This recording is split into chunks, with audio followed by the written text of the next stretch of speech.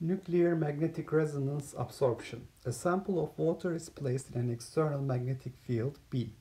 Each proton of the water molecule has a nuclear spin 1 half and a small magnetic moment mu 0. Since each proton can point either up or down, it can be in one of the two possible states of respective energies minus plus mu 0 b. Suppose that one applies a radio frequency magnetic field of frequency nu which is such that it satisfies the resonance condition h nu is equal to 2 mu 0 b where 2 mu 0 b is the energy difference between these two proton states and h is Planck's constant. Then the radiation field produces transitions between these two states causing the proton to go from the up state to the down state or vice versa with equal probability. The net power absorbed by the protons from the radiation field is then proportional to the difference between the numbers of protons in the two states. Assume that the protons always remain very close to equilibrium at the absolute temperature of the water. How does the absorbed power depend on the temperature T? Use the excellent approximation based on the fact that mu 0 is so small that mu 0 b is much less than kT. So we have uh, two energy levels corresponding to the two possible uh, moment orientations. We have, uh, when the moment is minus mu 0, we have an energy plus mu 0 b. And when the moment is plus mu 0, we have an energy minus mu 0 b. And the transitions between these two states uh, can happen so we can have a resonant absorption of a photon energy, h nu. Uh, so for resonant absorption, when we have an up magnetic field, resonant absorption will occur if we have the difference in energies between these two levels 2 mu 0 b equals to h nu the energy of the photon being absorbed. And then the problem statement says the net power absorbed uh, varies as the number of uh, atoms uh, or molecules in the uh, the number of protons in the E minus, energy with uh, state with energy E minus, minus the number of protons in the state with energy E plus. So N minus is number of uh, protons in the state with energy E minus and m plus is number of protons in the state with energy E. And we, we already know that uh, the number of protons in the E minus energy, uh, the minus state will be proportional to the probability of occupancy of that state, which is C times e to the minus beta uh, mu 0 b and uh, so because it's the number of accessible states for that um, energy divided by total number of accessible states which gives us a factor of c. And similarly the occupancy uh, probability of the plus state will be c times e to the beta uh, mu 0 b.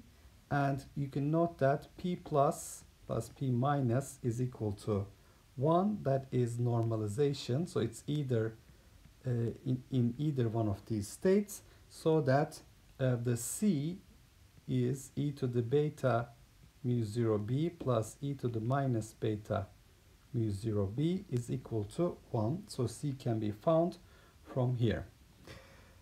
Okay, so uh, mu 0b is much less than kt. So uh, we can say that uh, mu 0b is much less than 1 over beta or beta mu 0b is much less than 1.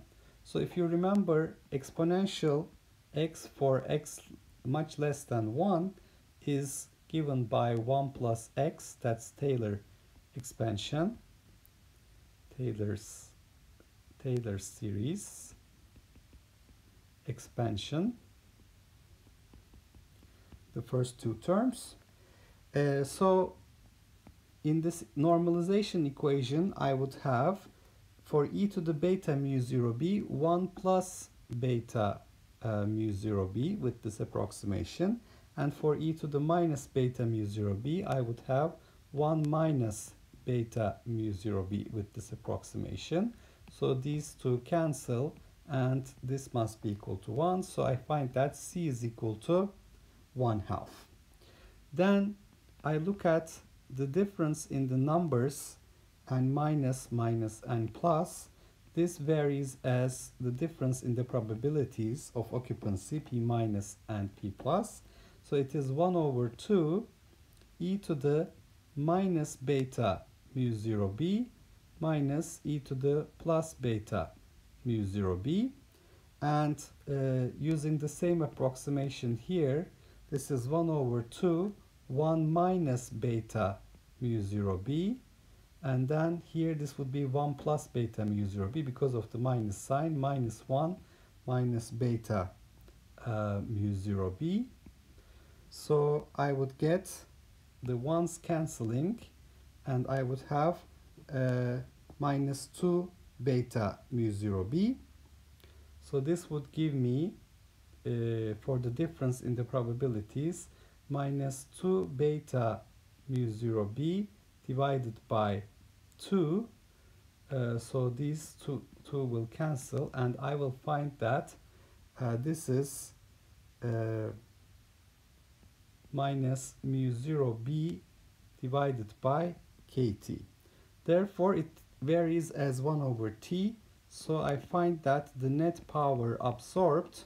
p power absorbed uh, varies as 1 over t.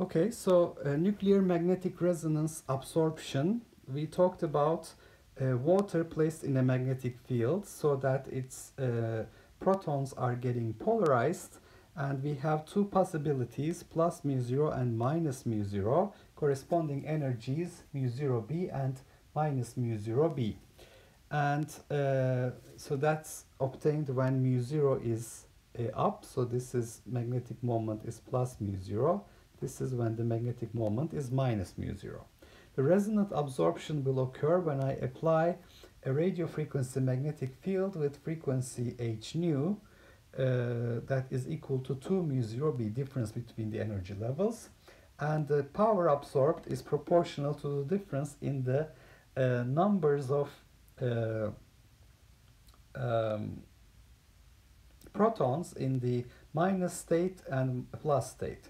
So the, the, the difference can be found by considering the probability of occupancy of these states, which is proportional to e to the minus beta energy of that state. So for E minus, eh, this would be e to the minus beta mu 0b. For E plus, this would be e to the plus beta mu 0b.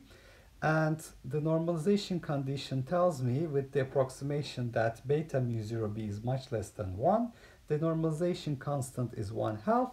And if I look at the difference in the probability of occupancies, it uh, with this approximation, it is minus mu 0b over kt, which tells us that the net power absorbed is proportional to 1 over t.